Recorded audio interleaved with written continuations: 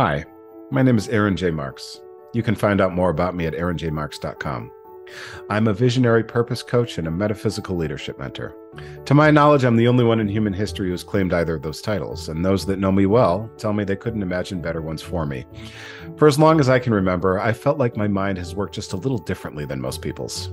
At times it's been uncomfortable, but I've begun to see that it's actually incredibly important and that there's never been a better time to share the way that I think and see with the creative and entrepreneurial leaders out there who need to hear it. This is my podcast, A Higher Level. Everything we think, see, and do here happens on a higher level, and that makes all the difference. For some of you, these are among the most important and transformational conversations you will ever hear, and they will fill in something you may not have even known was missing but something that is essential for your happiness and transformation. This podcast is all about creating a space for these conversations, a place to explore your deepest and most persistent questions about the human condition, a place to dream, play, and muse about the meaning of it all, a place people tell me only I can help them access, and a place of crucial importance for the human spirit and our future as the human race. On a higher level, everything is vast, rich, beautiful, and deeply optimistic. Join me there now on a higher level.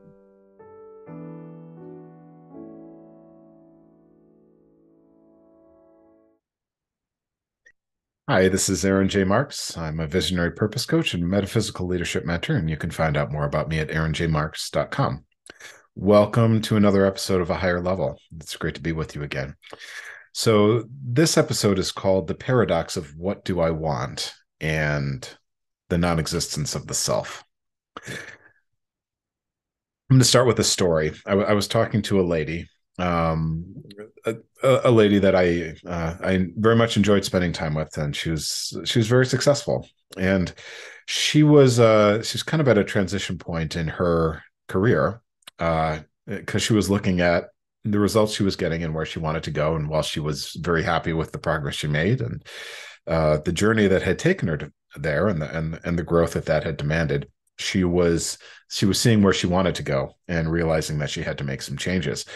And um, she she had been challenged to to think about how this might be done. And one of the ways that she was challenged was that she was asked well what do you want?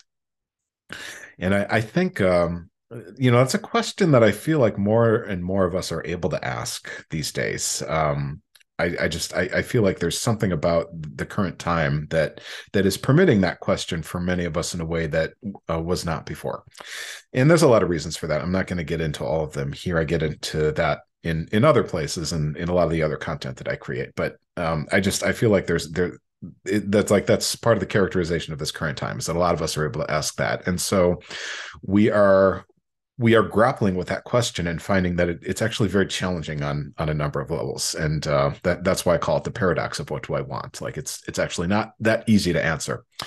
So uh, you know this lady's story um, you know was was case case in point for that. Um, and you know it's like she she had never really a had the opportunity to think about it b the inclination to think about it or c the space to think about it or d the you know the directive to think about it. She you know she had had someone who was coaching her um put that question to her and she she had not considered it before. So um it was new to her it was strange to her it was foreign to her and so she you know she she began to consider the answer to that and uh, and i think i think the answer that she came up with is very interesting and it you know it demonstrates something i've observed and something i've struggled with as well which is why i call it a paradox so the first thing that she saw was um was that her morning routine was too rigid. You know, it felt like she was checking off boxes. And so she would get up and she would do certain things and felt like she was just sort of being held to a, you know, a, a strictness and a rigidity that that was not I don't know, serving her would be a, a, way to say it, or like that she didn't like, you know, and so you know that you know that that caused her to have a vision of something that would be more appealing to her, you know, which had a little bit more freedom, a little more flexibility, a little more kind of space built into it, and so, um, you know, instead of uh, waking up and checking off the boxes, which for her was a, uh, you know, within a a non-denominational Christian framework. So she would, um, you know, do devotions and do certain Bible study.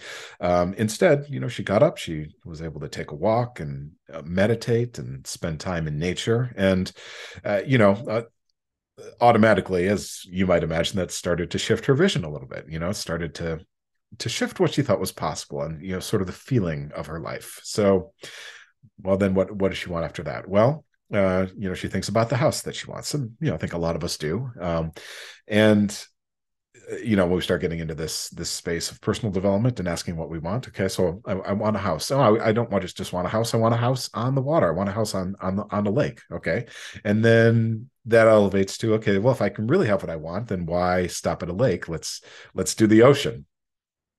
And then you know then it shifted in a way that you know that was fascinating to me because she said well you know now it's like oh it could be a retreat center right? Like it's not just me. Like people on my team or you know people on other teams could come and they could have retreats here rejuvenating retreats um you know where they they spend time together you know um uh refreshing and getting in touch with their vision you know um so boom it's not just her about her anymore it's about others you know? It's like you see how imperceptibly that happens um where it's like oh i, I think that the the insight i'm trying to to show you here is like we're we're actually not content to stay with ourselves you know? So what i've realized is there there is no self you know? When you're asking what you want you know you, it doesn't doesn't actually make sense to ask what you want um, because there is no self. Let me let me let me tell you the one other element of of her vision you know for what she wanted you know she said well i, I want a speaking career. You know i want to i want to go on stages. I want to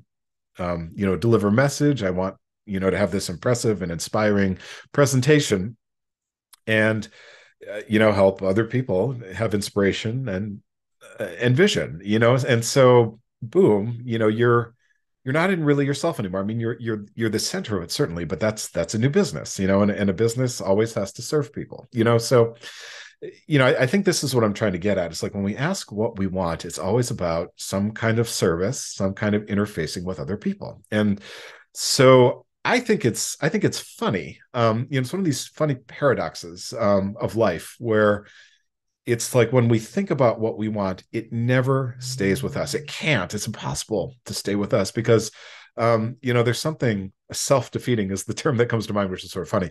Um, you know, it's uh, self-defeating and uh, even non-existent about what you want, right? Do you notice this? Um, you know, immediately when you think about what you want, you think about how it interfaces with other people on on a number of levels and that's why I say it's it's never about the self. I mean, it it sort of starts there, but it's like when you're you know when your vision really starts to expand, even prompted by that question of what do you want, it starts moving into these other levels beyond you. And humans are social spe- social species. We've always been. I think we always will be. I can't imagine what the human race would be if we weren't a social species. And so boom, we have to think in these different, I call them spheres. So, um, you know, we go from the paradox of what do I want to the, I call them the five spheres of leadership influence, because I think that if you're to be happy, if you're to have a healthy vision, if you're to, um, you know, if you're, if you're to find joy and motivation and inspiration in that vision, I, I think it has to touch these five levels. So I'm going to go through what those are. And I, uh, one of the things that I help the leaders that I coach do is to get clarity on these levels. And it, you know, necessarily doesn't necessarily happen all at once, and uh, it doesn't necessarily happen with equal strength on all of them. But I, but I really, you know, the more I talk to people, the more I get into leaders' heads, and uh, you know, get into those those frustrations and those aspirations. Um, you know, the two rations that I talk about either on a previous or a subsequent episode I, I find that they do have aspirations and frustrations on all these levels. And so it is important to acknowledge them and to, you know, take a comprehensive view of all of these as you discern your vision. So let, let's talk about the levels. Okay. So um, the first level is the self because it does have to start with what you want, but you're going to find it never stays there. Um, and, you know, maybe you have thoughts of a car or house or you know travel that you want to do but um, but I'm going to say that that's always going to be affected by the next level, you know, rather immediately, because, you know, when you think about a car or a house or travel, um, you know, are the restaurants you want to eat in, you're not doing that alone, right? Like you don't drive in your car alone, you don't travel alone. I mean, maybe some people want to be solo world travelers, but not the people that I tend to attract. The people I tend to attract um, you know, they they have families and communities, and they, you know, they they they want to be very much oriented around those things as well. So even when you talk about, you know, the car that you want, like you have to think about other people in that process. And so that's what I say. That's why I say there is no self here. There's no self. There's only how you want to interface with these other other spheres. So number 1 is the self. And when you start to have an image of what you want, it's going to involve other people. And so that's what the other the other spheres are. The second sphere is your family. So what do you want for and with your family? You know what what does that look like in your life when when you when you see that ideal, you know that that ideal platonic image of of how you want to interact with your family? Um, what do you see? You know that's where it goes next, um, because you have aspirations and frustrations about your family, and you know some of these can never be solved. But I you know it's to have the vision that's that's where you have to start so the second one is family the third one is your your team and people have different teams right? You know so it's like for some people this is their workplace you know uh, for some people it's the department they lead. Uh, for some people it's the business they're building. For some people it's the business they want to start. For some people it's a volunteer organization that they are involved with or a service organization you know like lions or rotary. Um, for for some people it's a governmental organization. You know for some people it's a nonprofit right? So you have all these teams that you're a part of uh, you know for some people it's a religious community you know? We're all on many many teams and uh, you know these are all company cultures of different kinds. So that's the third level. It's um you know your team level. What what aspirations and frust- uh, for and frustrations with do you have uh, for your team? Uh, the fourth is community, and and you see these intersect, right? Like it's very very hard to think of any of these in isolation because they, you know, they integrate and they they they flow through and they touch one another, and you know, ultimately existence is inseparable. History is inseparable. You're living now, but you're wrapped up with history you're you're wrapped up with the future you know it's all the same story unfolding uh interacting integrating you know crossing over um uh, you know interacting with itself you know you can't get away from that but you know the, I, I found this is a useful framework to kind of tease things out though and start um you know taking action. So your community um and you know we have communities on a number of level you can think of this as like jurisdictions right? So you have a community that's a city or a village or a town right? So what what frustrations or aspirations do you have for that?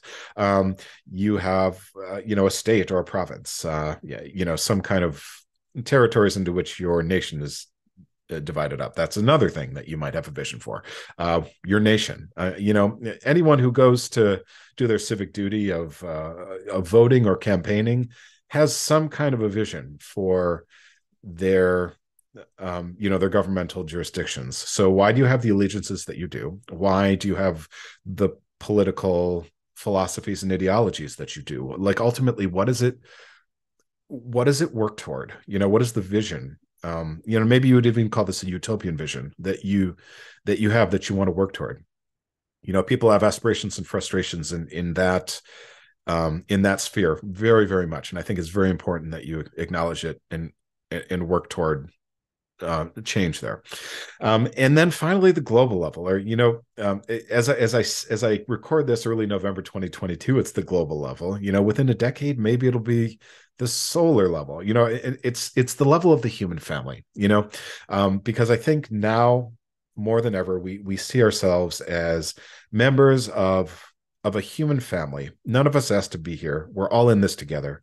Uh, we all need to love each other as well as we can love is a hard word. I was talking to my wife about this this morning. Um, love is very very hard to define um, you know and in in a lot of ways it, it's practically meaningless you know if you really ask what what, what does love mean but I, I i think that it does point to a higher reality that we humans are all in this together and we do have a sense of what it means to to be better together i think most of us do so, what is your vision for for humankind? How is the human race? How is the spirit of the human race best honored, ignited, channeled? What does that look like? Again, this is likely some kind of utopian vision, but I I think we all have our utopian visions, and I'm going to say that I think it's something that you should think about and discern and reflect on and take action steps toward because I really wonder. I wonder how many people have some sort of a a global or a you know a human race vision that they're they're just not acting on because for some reason they don't have permission or they don't think they're up to it. I you know I think I think uh, anyone who acts on that level, yeah, you know, no one gave them permission to do it. It's you know it's just the the tendency and the influence that they have. So you can do it too. You can start working in that direction too. If you have a vision, it means it's something that you're being called to and you can start moving toward it. So so anyway those are the those are the five spheres of leadership influence. And again it's the paradox of what do i want? Because asking what do i want? reveals that there is no self. It's these four other spheres in which you constantly live and move and have your being and influence and for which you have aspirations you know things that you want but don't have and frustrations things that you have but don't want. And those both show you the ideal that you see in your imagination and can start moving toward that you will never reach but that is what you're here to do i think. So i, I hope that has you seeing and um, thinking and acting on on a higher level which is what everything here is is about. Um, but that's that's how I think about it. You know, when you ask what do you want, you know, just as that lady did, it didn't stop with her, right?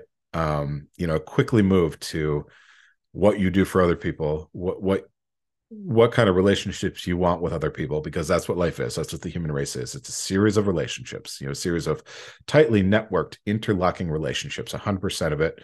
We all rely on each other we all serve each other. So when you ask what do i want?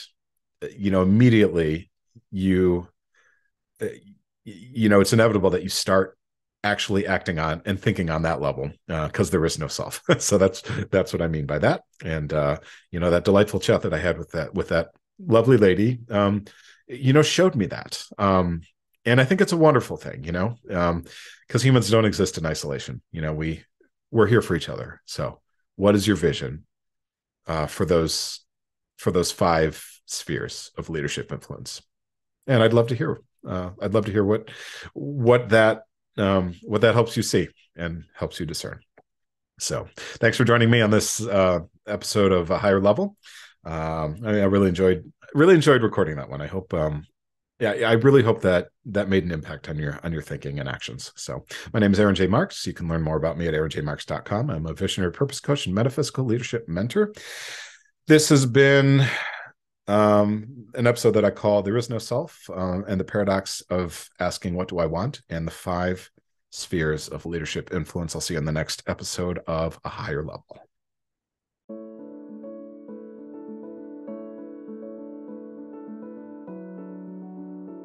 Thanks so much for listening to A Higher Level. I hope that got you seeing, thinking, and acting just a little differently, or maybe even a lot. When you act differently, you get different results. But we need to start with the vision and the thinking. How do you feel? Ready to go and make positive, inspiring changes in your life and work? If so, it means what we're doing here is working, and I would love for you to let me know if this is you. There's a bunch of ways for you to get in touch with me. You can go to my website, aaronjmarx.com, or look for Aaron J. Marx, Visionary Purpose Coach and Metaphysical Leadership Mentor on Facebook, or you can look for Aaron J. Marx on LinkedIn or Instagram, whatever is easiest for you. And if this is speaking to you, I might suggest that you think about becoming one of my leadership coaching clients. In our work together, we'll have conversations on this level, but tailored just to your life and aspirations. You really can't imagine what a difference this can make for your mindset, vision, and results. The first step after learning more about my approach is to book a free no obligation discovery call, both of which you can do at aaronjmarx.com. If your intuition is nudging you, don't wait any longer. It is likely the next step along the marvelous journey of wherever you are here to go and whatever it is you are here to do. And I can't wait to meet you. Thanks again for listening, everyone. I'll see you on the next episode when we'll continue to see, think, and act on a higher level. I'll see you then.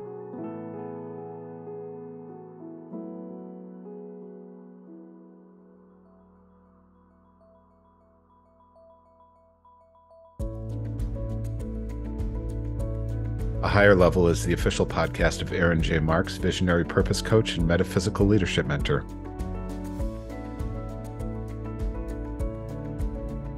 Learn more at www.aaronjmarx.com.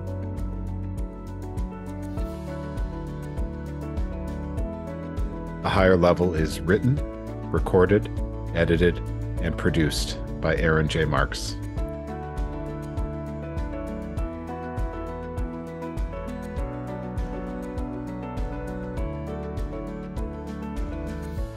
Music is by Airae.